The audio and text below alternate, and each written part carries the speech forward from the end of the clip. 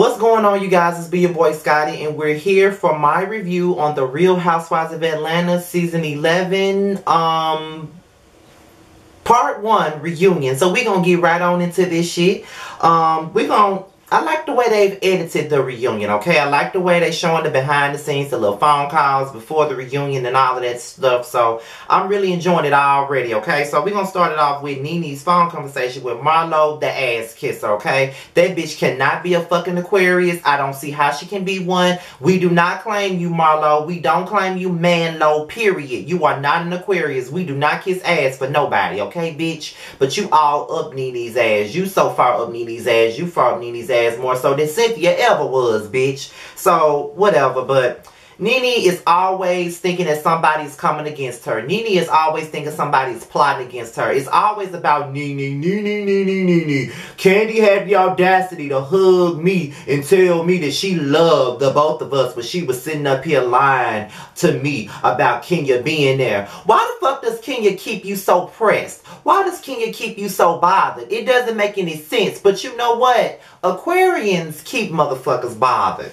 For whatever reason, we keep a bitch bothered simply because we don't give a fuck. We gonna keep a bitch bothered every motherfucking time. So, Kenya can walk through the building. She can wake up and breathe and Nene gets mad. Like, it don't make no sense. All because someone showed up to somebody else's event you that damn mad and you think that somebody trying to plot against your bitch ass, girl, bye. You are not motherfucking like Queen Sheba. You're not, bitch. I, I, I swear to you, you're not.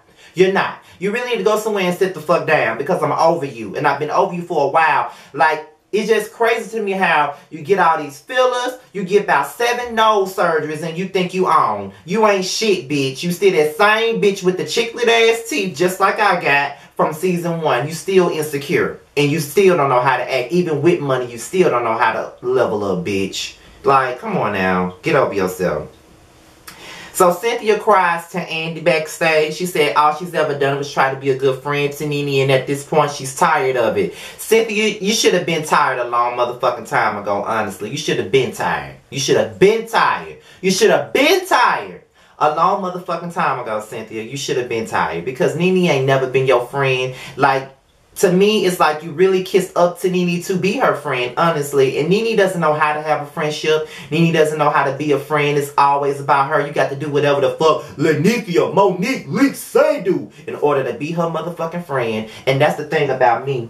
You can't tell me what to do just to be your motherfucking friend. And that's why I'm not friends with certain people. I'm going to do whatever the fuck I want to do. I'm going to be friends with whoever the fuck I want to be friends with. I'm going to follow whoever the fuck I want to follow. I'm going to entertain whoever the fuck I want to. long as I'm not doing no snake shit to you, it should not be a bother to you. Okay, so Nene can really have a seat, and Cynthia, you can too at this point because at this point, Nene is not your friend. I don't know why you have any hope for that friendship because it's not a friendship. It's a damn jail cell. That's what it is. You're gonna be in the jail cell long as you do whatever the fuck Nene say do, she good. But when you do one thing she don't like, she don't want to fuck with you no more. Fuck that bitch. You've been way too much of a friend to her, and that's just what it is. And you know, I've been hard on Cynthia for so many years on my reviews. Y'all know I have.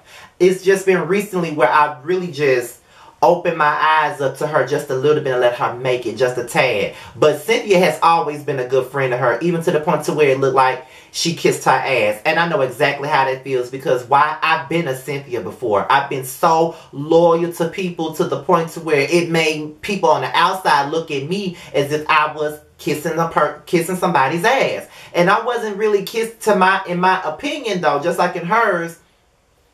I wasn't kissing ass. I was just merely being a good friend. But at this point in time I can understand now why it looked that way. But me but me knowing what I know and knowing what was going on, I really wasn't kissing nobody's ass. I was just trying to be there for my friend being a ride or die. Cause that's the type of nigga I am. And that's the type of bitch Cynthia is. But Nene doesn't respect that nor does she appreciate that. She don't want friends, she wants maids. And Marlo was willing to be that.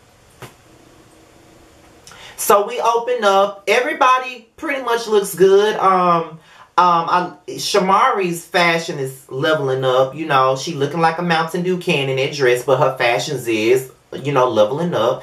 Kandi, um, she's I don't know what it is about Kandi. These last two reunions, these last three reunions now, she's been wearing gold, and I'm guessing that's her color. But I do like the bang and the ponytail. Looks good on her. No comment on Seven Nose. Porsha looks good in all black with um her pregnant belly coming out. I like the way her hair looked. Cynthia always looks good. And Eva was slaying the bitches that whole reunion. Like, she looked damn good. The haircut, the dress, she was not coming in to play with nobody. Y'all know I'm all about the eyebrows. And the eyebrows was on point. So, all about the eyebrows. So, go in, um, Eva. Um, we talked about Porsha's baby shower and everybody was there except for Kandi and Nene. But Kandi sent Porsha some gifts, which we all saw on Porsha's Instagram yeah, live. Yes, I follow Porsha again on Instagram because I've been unfollowed her ass a long time ago, but now I follow her again. But that does not mean I like her. I'm just saying. But uh but yeah. Um but yeah, so um we go into that and you know, Kandi sent the gift, but Nene didn't send shit, and she ain't gonna send shit. And she said, well, I was in Canada during the time that your baby shower was coming up. But someone said that she was at a Floyd Mayweather party, but she clearly says that she was in fucking Canada. And I'm like, okay, Nene, whatever. And Nene's whole aura is just negative. Like, she is such a fucking bitch. When Andy said something to her about um being the wig being the glue to hold her wig together and her family. She also said into this cast as well. Like she's coming in being a big bitch that we know her to be. And it's just ridiculous to me and I'm just not for her. Like I'm not for this bitch period. Like Nene is already like on my least favorite list at this point because it's just ridiculous. Like I just can't with her. Honestly. Um she's so quick to call um let me see Okay, yeah, yeah, yeah, yeah, yeah, But yeah, she wasn't at the baby shower basically, and she ain't, you know, she ain't sending no damn gifts, cause Nene don't give a fuck about nobody but herself. Like if the if the if the light ain't on her, she don't give a fuck, and that's really what it is. Um. So we get into Porsha and her love life with Dennis and her relationship with her mother-in-law, and I must say that at the beginning of the season, I was absolutely annoyed with Porsha and how giddy she was and how she was coming off like a high school girl over Dennis. And it's really funny because at this point in my life, I'm kind of giddy and acting like a high school girl right now. Isn't that funny? And I kind of believe that during that particular time, when she was doing all of that, it wasn't necessarily anything wrong with it. I'm believing that I was only reacting that way because I was going through my own relationship woes at the time. And anything that had anything to do with people being lovey-dovey was annoying to me. So I was kind of bitter during that time. Like, during that time when she was like, oh, no, I did it, oh, I did it, you know what I'm saying? It was kind of like bitch, calm down. It ain't that serious. Of course, I had that opinion because I was going through some real relationship woes. I was upset. I was mad, angry, pressed, all of that.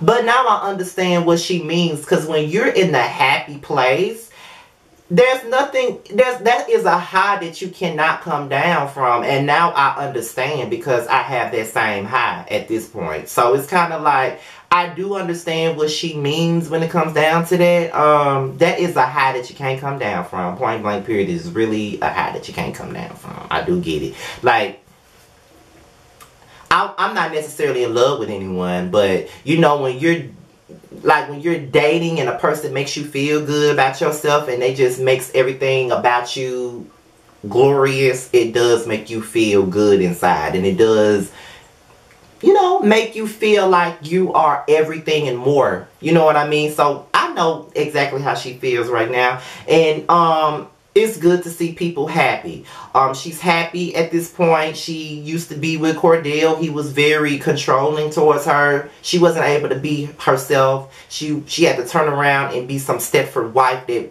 she knew that she never was.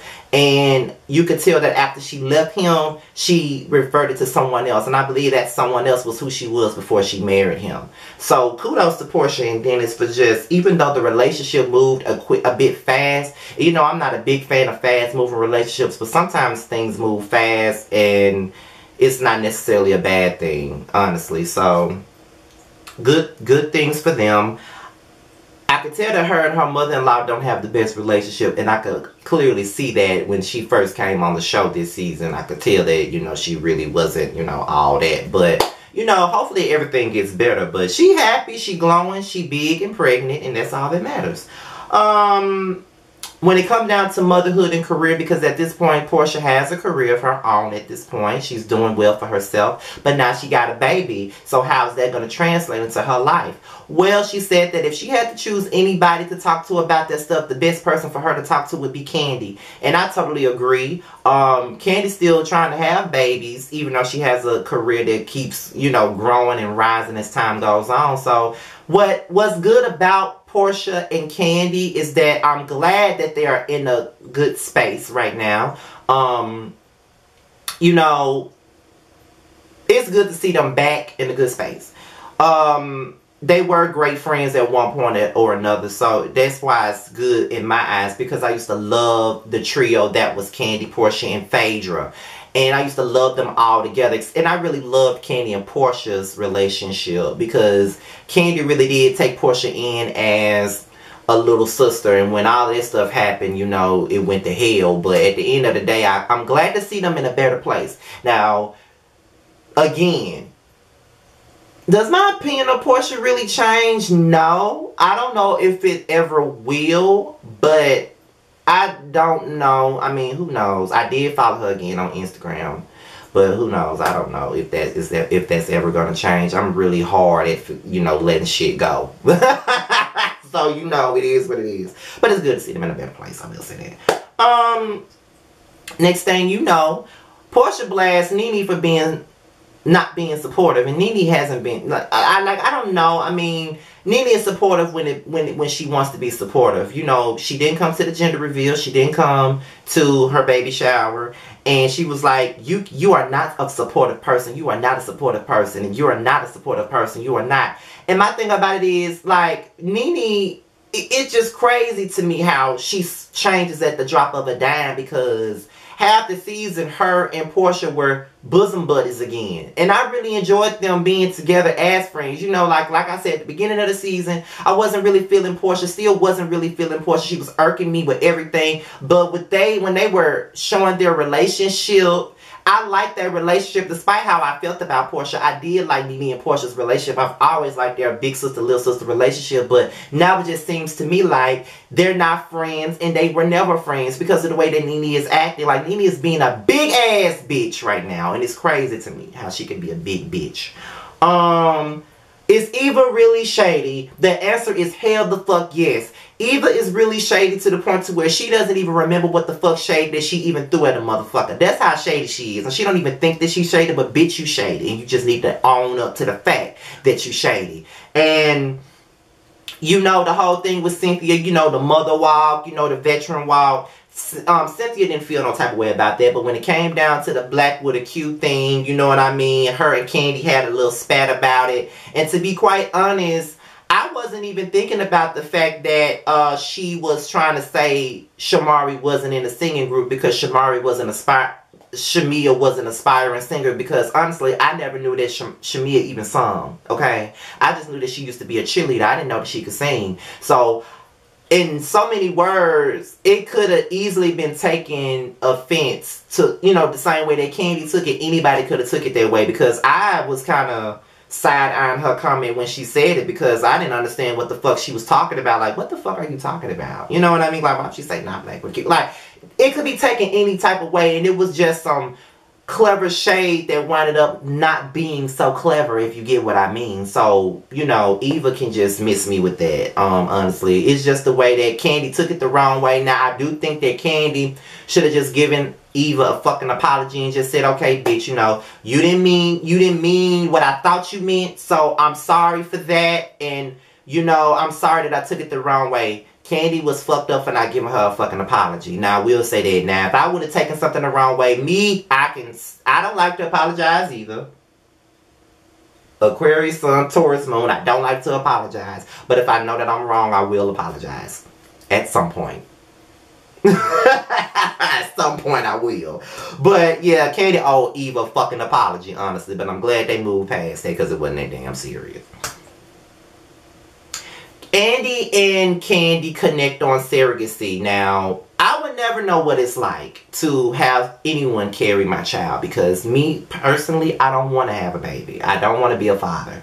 Um, you know, people would people tell me, you know, my cousins, some of my friends, they'd be like, Scotty, you would be a good dad. You would be a good dad. Like, you're practically a father to your youngest brother. Because, you know, I'm 11 years older than my brother. So, I pretty much taken care of him for most of his life.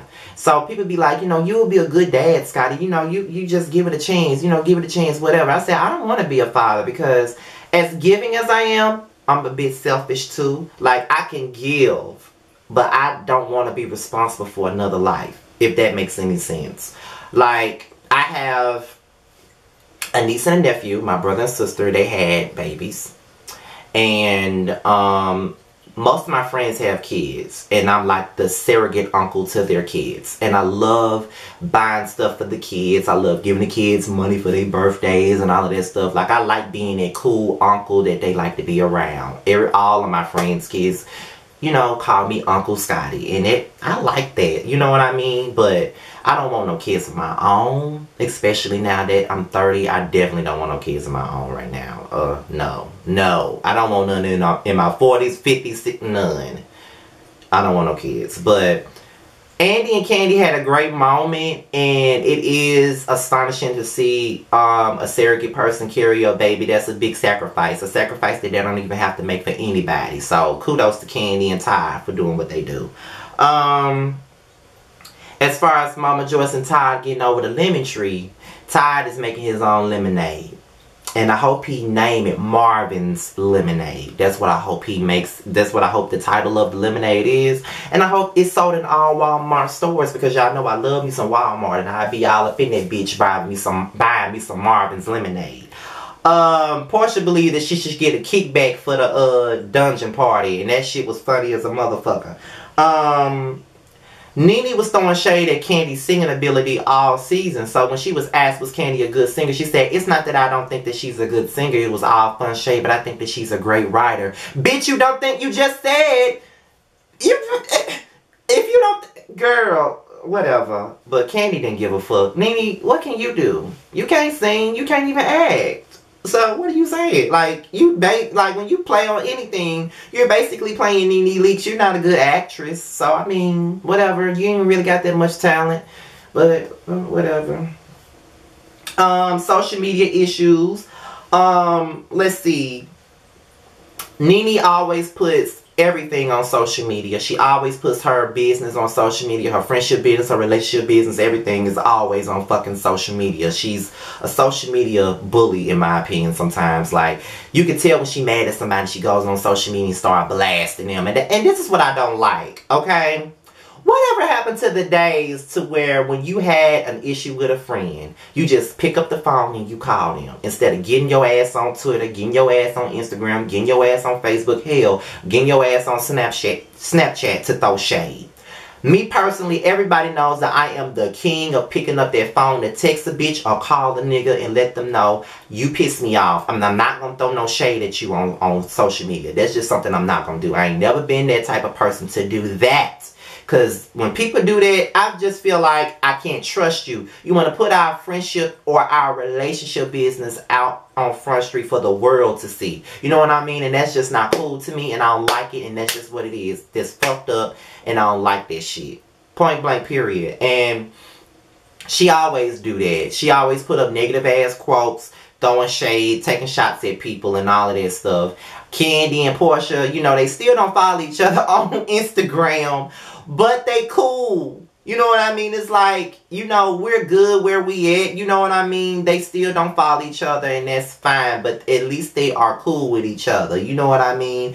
It's kind of like, you know, I don't know. But The only way I unfollow you is if I really don't fuck with you no more. Like, I don't want to see you on nothing. Like, you know, like, on YouTube, who do I follow? On on social media because it's not that many. Um, of course I follow Jamar. Of course I follow uh Bounty Blue, Miles, Rocks, Ashley, um, Alex, James. I think I follow Properly Bonafide, aka Cemented. I think I follow her too. Um, like if I really like you, you know, I follow you. Live with Leah, you know, of course. Bianca Brooks, of course. You know, gigs, you know, even gigs from back in the gap when I first started getting on YouTube. You know, I follow motherfuckers. You know, like if I really, really like you, I fuck with you, you know, I will like your pictures. I will follow you. You know what I mean? If I don't follow you, I don't really fuck with you like that. Or if you unfollow me, I'm gonna unfollow your ass the fuck back. That's just how petty I am. I will unfollow your ass if you don't follow me. Ain't no point in me following you and you unfollow me. Now, it might. It, now I think it's just one person that um that probably unfollowed me that I still followed, and I really haven't had the time to unfollow their ass yet. But it is what it is. But other than that, um, you know. If I like if I fuck with you, I'm gonna follow you. But if I don't really like you like that, I'm not following you. If I like if I don't fuck with you, I'm definitely not following you. Like point blank, you know. Um, but it is what it is though. But Nene and Cynthia are friends and basically Nene want to say that the hashtag chill was too much and it was insecure and she just finds anything negative. Like when she mad with you, she want to tell you to fuck down and that's all she ever does. I just can't stand that big silverback quarterback ass bitch Fuck Nene and them 10 damn noses she got, y'all. I just can't. But, y'all, that was my review of the reunion for the first part, first half of the reunion, however, of The Housewives of Atlanta. I just hope that this whole reunion with, ne with Nene's negative ass attitude did not take away from the positive energy that I've been giving on most of my videos over the last couple of weeks, okay? I have been so positive lately, and everybody been seeing my spirit shine on all of my damn videos. So, I hope Nene did not ruin it, okay? But with that being said, y'all, follow me on all social media. It's all at the bottom. And be sure to like, rate, comment, and subscribe, and share my video. Till love and hip hop later on, I'll talk to you guys later. Peace.